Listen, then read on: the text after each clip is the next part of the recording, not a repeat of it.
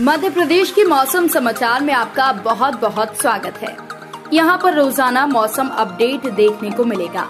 Video को शुरू करने से पहले आप कमेंट में अपने ज़िले का नाम ज़रूर लिखें, ताकि आपके ज़िले का भी मौसम अपडेट हम दे सके। वीडियो बहुत ज़्यादा यूजफुल है तो अंत तक इसे ज़रूर देखें।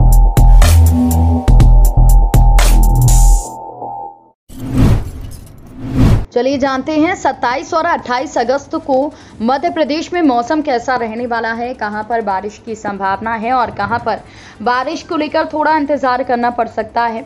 लेकिन उससे पहले हम आपको बताते हैं प्रदेश का तापमान, यानी कि प्रदेश के कौन से हिस्से में ज़्यादा तापमान बना हुआ है, कहाँ पर तापमान में कमी देखी गई है। तो आपको बता दें कि अभी प्रदेश के अधिकतर जिलों में तापमान में बढ़त देखी जा रही है, क्योंकि बीते कई दिनों से मध्य प्रदेश के कुछ कुछ हिस्सों में बारिश नहीं हुई है। ऐसे में यहाँ पर गर्मी और उमस का एहसास लोगों को हो रहा है।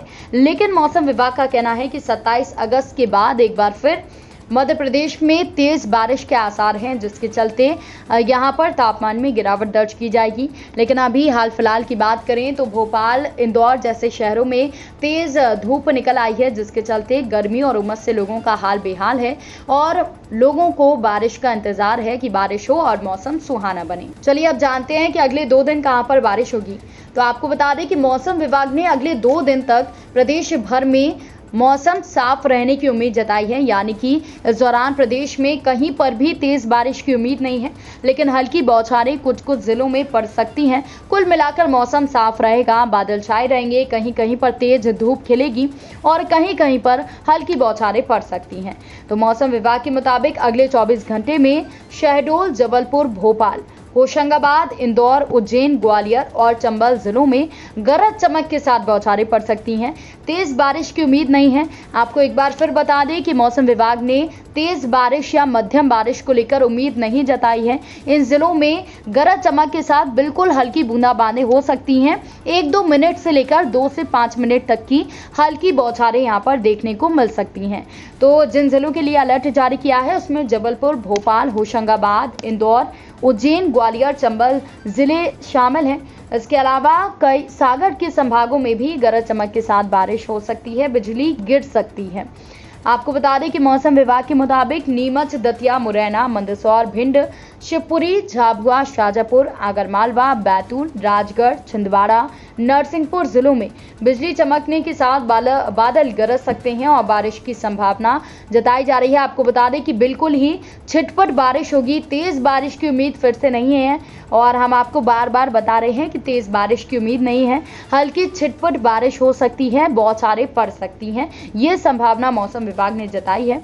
इसके अलावा प्रदेश के शाजापुर, देवास, नीमच, मंदसौर ग्वालियर, उज्जैन, श्योपुर, दतिया, शिवपुरी, अशोकनगर, गुना भिंड, आगरमालवा, मुरैना, रतलाम में बारिश के आसार जताए हैं।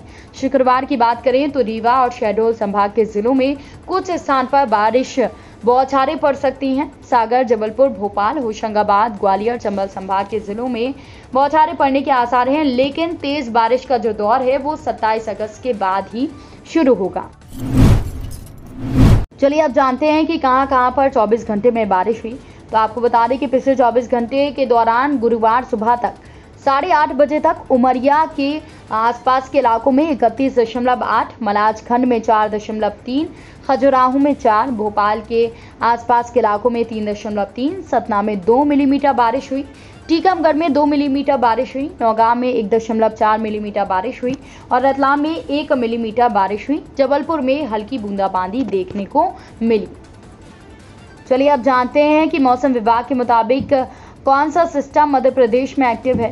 तो आपको बता दें कि अभी मानसून ट्रफ राज्य के टीकमगढ़ और सीधी ज़िले से होकर गुजर रहा है। इस कारण चक्रवाती हवाओं का दबाव मध्य प्रदेश के ऊपर बना हुआ है और इन दोनों सिस्टम के एक्टिव होने की वजह से प्रदेश में नमी आ रही है और अगले तीन से चार दिन बाद प्रदेश के जिलों में भारी बारिश की संभावना है। बंगाल की खाड़ी शुक्रवार को हवा के ऊपरी भाग में चक्रवात बनने जा रहा है और सिस्टम सक्रिय होते ही हिमाचल की, हिमालय की तराई में मानसून ट्रफ के वापस आने की संभावना है, जिसके चलते मानसून एक बार फिर से सक्रिय होगा। वहीं आपको बता दें कि कई ज़िले इस वक्त सूखे की चपेट में हैं। चौदह जिलों में सूखे के हालात बने हुए हैं। प्रदेश में तीन फ़ीसदी कम बारिश हुई है। मौसम विभाग के अनुसार प्रदेश में अब तक कुल पाँच मिलीमीटर बारिश हुई है, जबकि सामान्य बारिश का आंकड़ा जो है वो सात हज़ार सतासी है। इस हिसाब से प्रदेश में अब तक तीन फ़ीसदी कम बारिश हुई है और आने वाले दिनों में अब उम्मीद जताई जा रही है।